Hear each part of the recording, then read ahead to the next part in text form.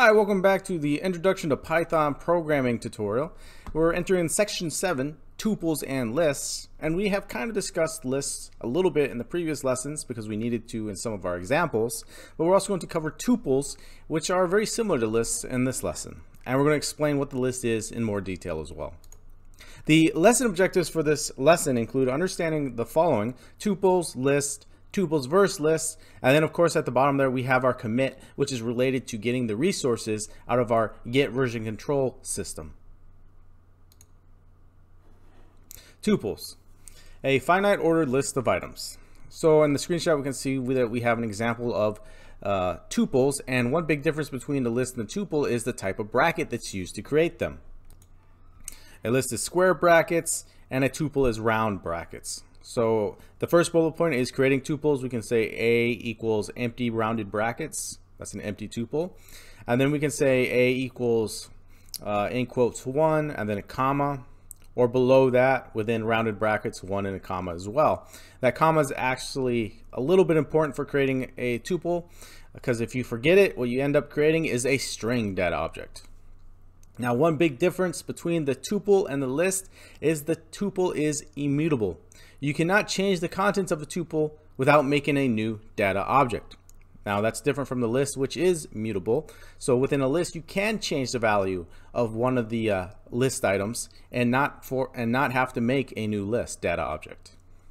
Iteration. Operations such as for and in work the same way as they would with a list. Okay, let's go ahead and move on. Lists, a list of items. Creating lists, we use the square brackets. Uh, we don't need a comma for this uh, for creating a list versus a tuple. It works a little bit differently there. The lists are immutable. You can change an item without a Python creating a, without Python creating a new data object. And iteration. Operations such as for and in work the same way as they would with a tuple. So there we go.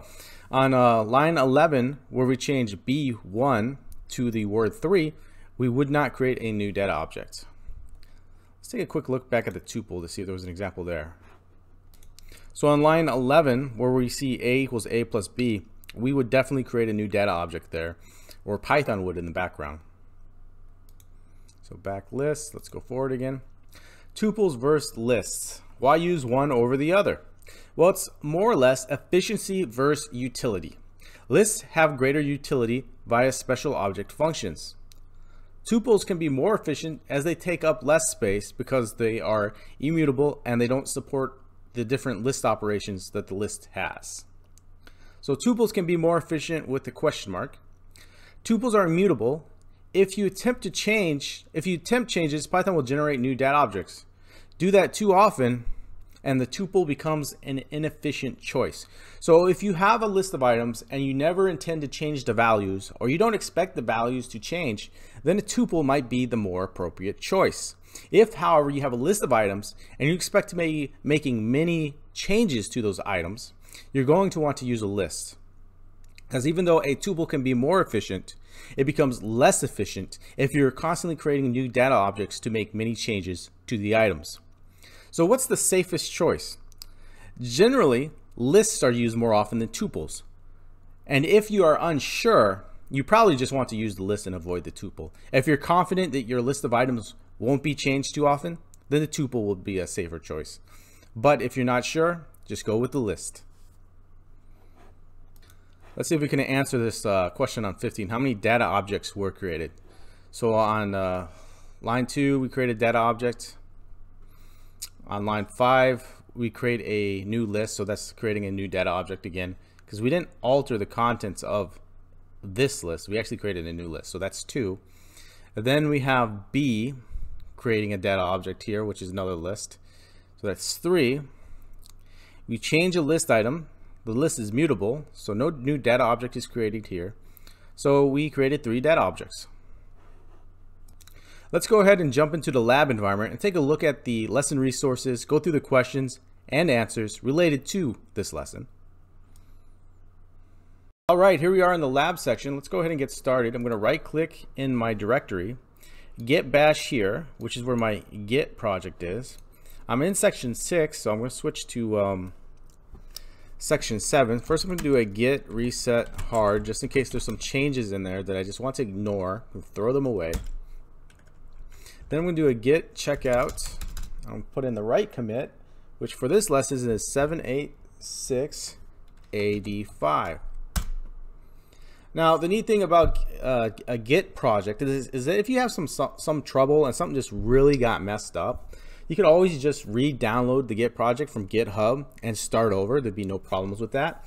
Now, if you've changed sections and you do a Git status and it says that your head detached at 786AD57, so you're in the right commit zone, uh, you can throw away that extra folder. Because if, for example, if you change and you still saw section 6 here, just throw it away or delete it and then proceed through your section 7 folder.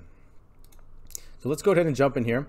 Be sure to take a look at the cheat sheet. There's some additional information on these. And then let's go ahead and take a look at a example. This is just from the um, the slideshow that we went through. All right, here we are. We have an empty list. So we just can just run that and see that it works. And that's a list printing out right there.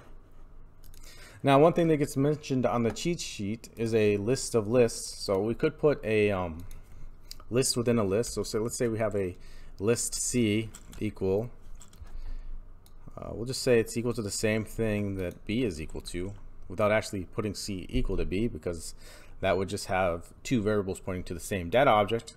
In this way, we have two data objects. And then let's say we have a D data object. Let me say we put that equal to B, comma, C. So we are making a list because of these brackets and we're putting a list in that list. Let's print that out and see what that looks like. So we're going to print D. Let's run example 2. And we can see that we do. We have a list within a list. Not too bad. And that has a lot of utility for uh, various things that we'll probably cross some of those things when we start uh, doing some more advanced programming, solving some work problems and whatnot. All right, I'm gonna go ahead and minimize that. I'm gonna go back to the exercises. Let's take a look at the questions.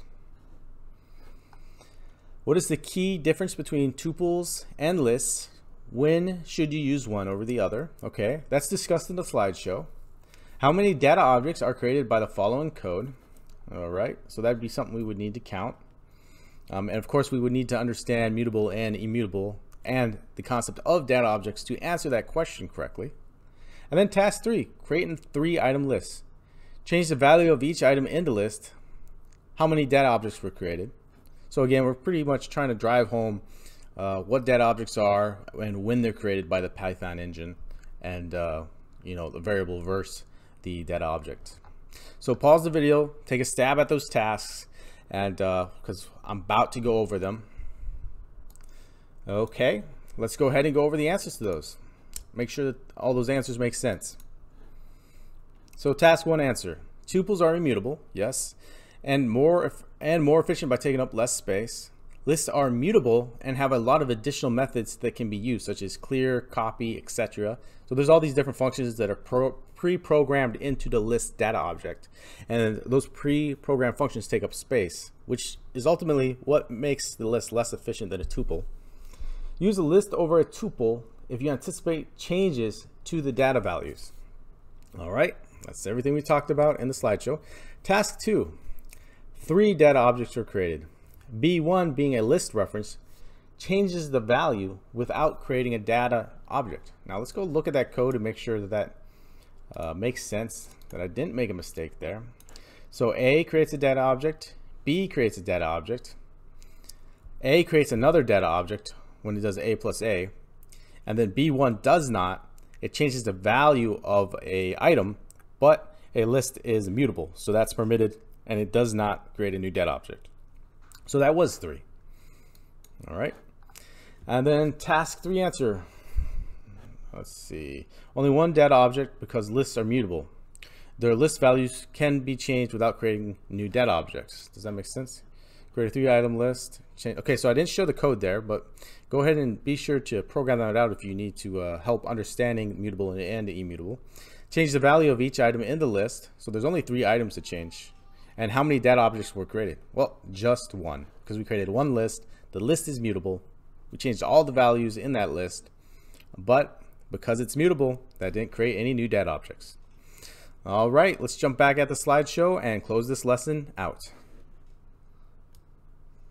All right, here we are. We already went through this slide. Let's jump to the next one. Section conclusion. What we learned about we learned about the following: tuples and lists, utilization versus efficiency, which is uh, when to use a tuple and when to use the list. And there, so, there wasn't a lot in this lesson. I hope you enjoyed it, and I hope to see you in the next. Thank you.